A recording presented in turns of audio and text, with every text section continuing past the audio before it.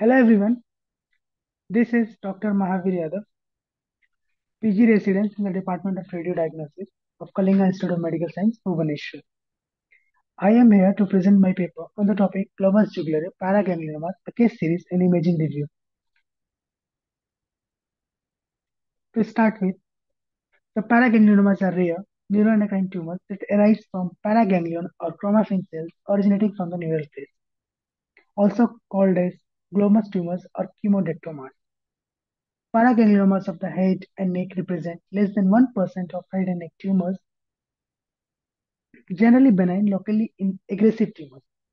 Malignancy with mass seen in 2 to 13% of the cases. Now, this paragangliomas can arise from sympathetic chain or parasympathetic. The sympathetic paragangliomas usually secrete the catecholamines and are located in the sympathetic pa paravertebral uh, ganglion of the thorax, abdomen, and the pelvis. The sympathetic can be adrenal or extra-adrenal. Extra-adrenal, like from the thorax, abdomen, and pelvis, uh, can be 15 to 35% malignant.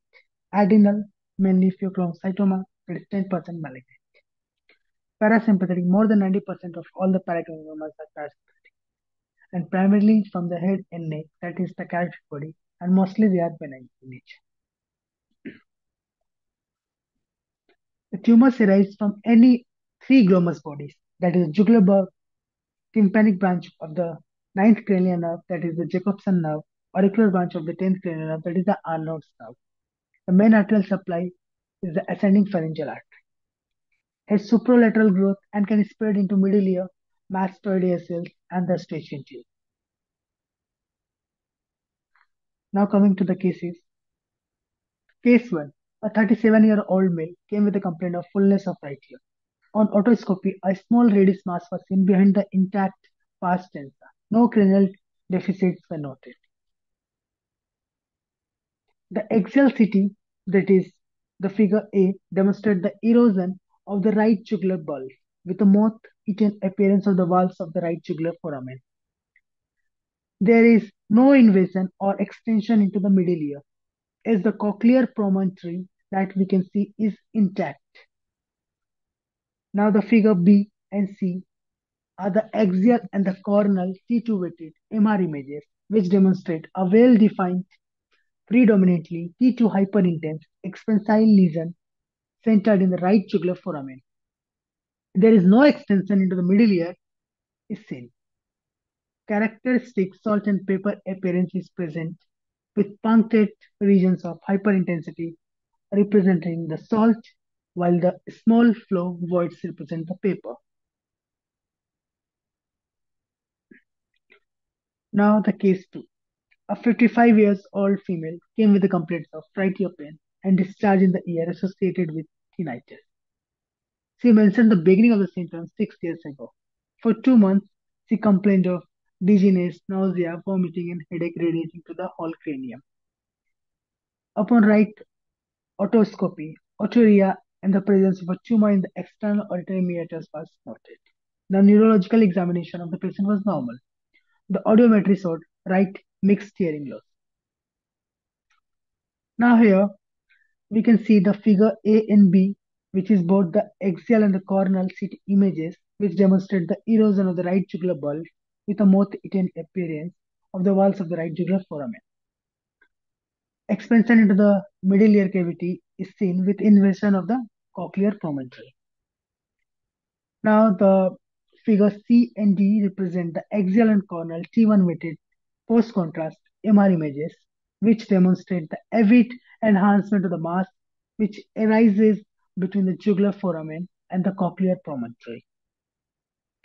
The mass fills the jugular foramen and extends in the middle ear anterolaterally. Now the case 3. In the case 3, we have a 60-year-old woman presented with symptoms of hearing loss, pulsatile ringing sound in the left ear for the last four years. The patient also had difficulty in swallowing for the last nine months. On examination, there was a uh, also left palatal paresis and the absent gag reflex on the left posterior pharyngeal wall. On otoscopy, a pulsatile reddish mass was seen behind the intact pars tensa. Now we can see the left-sided glomus jugulare paragangliomas skull base. Uh, the figure A is the axial in the figure, B is the coronal image of the CT that demonstrates a permeative destruction and enlargement of the jugular foramen with extension into the posterior cranial fossa. So, what do you mean by the permeative? Permeative means the destruct, uh, destruction of the bone with complete lo loss of the normal cortex and the loss of the normal architecture of the bone. Here we can easily see in these images. Now the figure A, B, and C are the uh, A is the T1 axial image, MR image, uh, T1 axial, MR image, it shows the hypointense tumor. T2 weighted axial image, the figure B, is the hy it shows the hyperintense tumor.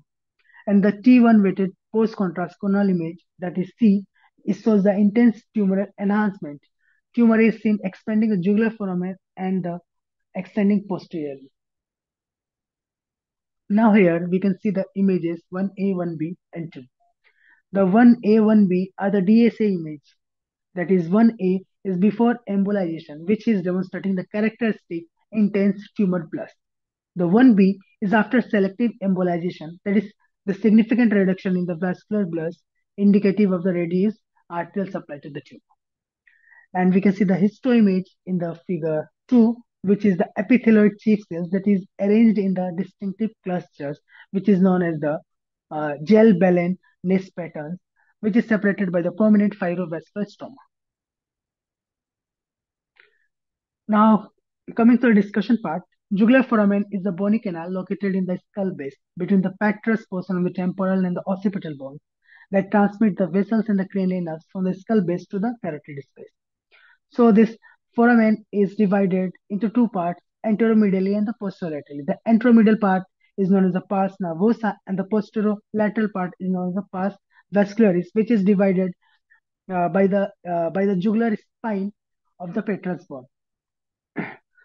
Uh, the pars nervosa con uh, contains the inferior petrosal sinus and the uh, ninth cranial nerve. The pars vascularis contains the jugular bulb, uh, tenth cranial nerve, and the eleventh cranial nerve.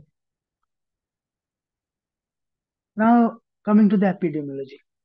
It is a rare with an estimated annual incidence of one case per 1.3 million people. But glomus tumors are common tumors of the middle ear cavity and the temporal bone. Occurs in 40 to 60 years of age with a female predominance and more common on the left side. Can be bilateral or multicentric, especially in the familial case.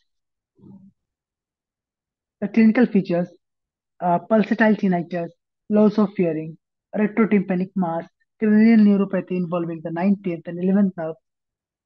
Uh, presentation depends on the degree of the medullary involvement. The radiological features.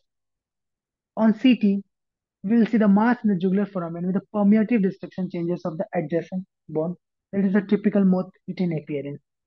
On T1 weighted image, hypointense salt and pepper appearance salt due to the hemorrhage and pepper due to the flow voids.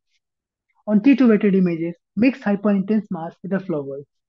On contrast, avid intense homogeneous enhancement in basin. Perfusion, elevated perfusion values with rapid dynamic enhancement. On angiography, enlarged feeding arteries, intense tumoral blush, early draining veins will be seen. On indium, 111 labeled octreotide, early intense uptake will be there due to the presence of somatostatin receptors. Now, Glasscock-Jackson classification is there. It is divided into type 1, type 2, type 3, and type 4. In type 1, there is a small tumor involving only the jugular bulb, middle ear, or the mastoid. In type 2, extension will be under the internal auditory canal with or without the intracranial extension. Type 3, extension will be in the petrous apex with or without the intracranial extension. In type 4, extension will be beyond the petrous apex into the clivus or infratemporal fossa with or without the intracranial extension. The surgical approach may change depending on the extent of tumor invasion. In type 1 and type 2, uh, will be limited to the skull-based approach. And in type 3 and type 4, the surgical approach will be more extensive and it will be limited to the infratemporal approach. In treatment, observation will be done, like periodic monitoring for tumors less than 2 centimeters. Radiotherapy will be done if the goal of is not the tumor removal, it is the tumor stability. Surgery will be preferred treatment when the tumor, high bulk tumor will be there. Secondly, resection would not sacrifice adjacent structures. Preoperative arterial embolization can be done before surgery on non-functioning paraganglioma to reduce the bleeding com complications. What are the differential? Jugular schwannoma. In the jugular schwannoma is one of the differential. In it, no internal flow voids will be there. Sharply demarcated smooth bony margins will be there. Not very vascular on angiography. Indium 111 labeled octreotide will be negative. Superomedial growth will be there. Meningioma.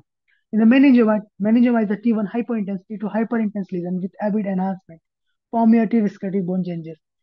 Encasement of ossicles will be there without the destruction or erosion, and the centrifugal growth will be there in case of meningioma. Uh, metastasis. Jugular foramen mass with irregular and distinctive margins will be there. T1, T2, isointense lesion. No diffusion restriction. Increased perfusion in the hypervascular metastasis. Chondrosarcoma. Usually mass will be seen medial to the jugular foramen. In chondrosarcoma, T1 isointense and T2 hyperintense. Rings and arcs calcification will be present. So finally coming to the conclusion, the conclusion is that paragangliomas are very rare, often asymptomatic tumors. Characterization of the tumor extent is necessary as they have an intimate association with nerves and vessels.